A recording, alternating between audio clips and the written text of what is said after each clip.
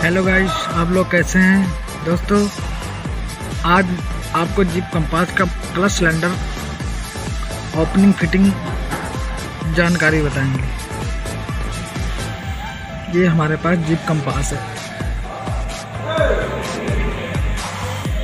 भाई मेरा दो मिनट गेट लगा दे। दो मिनट दो मिनट। ये हमारे पास जीप कंपास है। इसका फ़िलहाल में अभी मैंने क्लच किया था। बट थोड़ा सा प्रॉब्लम आ रही क्लच सिलेंडर की वजह से। तो इसलिए हम क्लच सिलेंडर इसका रिप्लेसमेंट करेंगे, जो हमारा क्लच पैडल में लगा रहता है। तो आज हम आपको बताने वाले हैं, कैसे खुलेगा, कैसे डलेगा दोस्तों, आपको पता ही है क्लच सिलेंडर हमारा क्लच का पैडल जो होता है वहाँ लगा रहता है। ये हमारा क्लच सिलेंडर है। हम इसको आज खोलने वाले हैं इसको चेंज करेंगे। रिप्लेमेंट इस, इसका रिप्लेसमेंट करेंगे।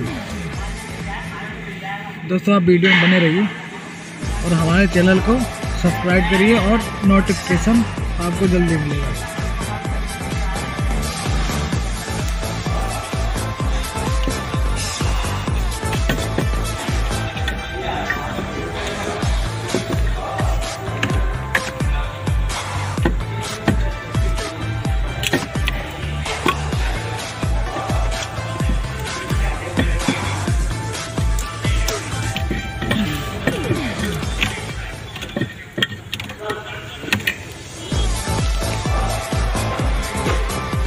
ये कपलर दोनों हटाने पड़ेंगे ये दो कपलर और एक फ्रेंड्स देखो मैंने पूरा फिटिंग खोल दिया। मीटर खोलना नहीं पड़ता बट मैंने खोल दिया। मीटर खुल गया। साइड कवर खोलना पड़ता है स्टेरिंग मैंने बाहर निकाल दिया था।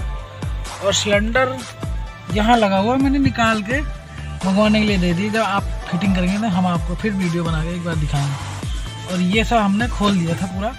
ये देखिए, पूरा हिल रहा है। ये पूरा सिस्टम खोलना पड़ता है।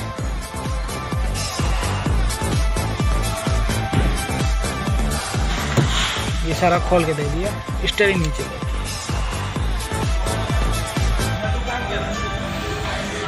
एक यहाँ बोल्ट है, एक यहाँ बोल्ट है, और एक यहाँ है, और एक इसके अंदर है, और एक यहाँ पे है। ठीक है? एक, दो तीन, चार, पाँच बोल्ट हैं इस सारे मैंने खोल दिए, फिर जाके निकला। दोस्तों, इसके लिए हमें सिलेंडर चेंज करने के लिए हमें ये पूरा फिटिंग खोलना ही पड़ेगा।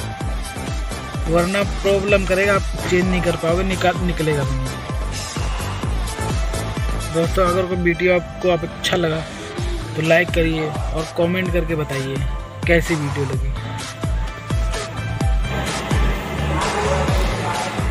हेलो दोस्तों, ये हमारा सिलेंडर है, नया वाला, जो कि मुझे ये डालना है। और ये हमारा पुराना वाला है।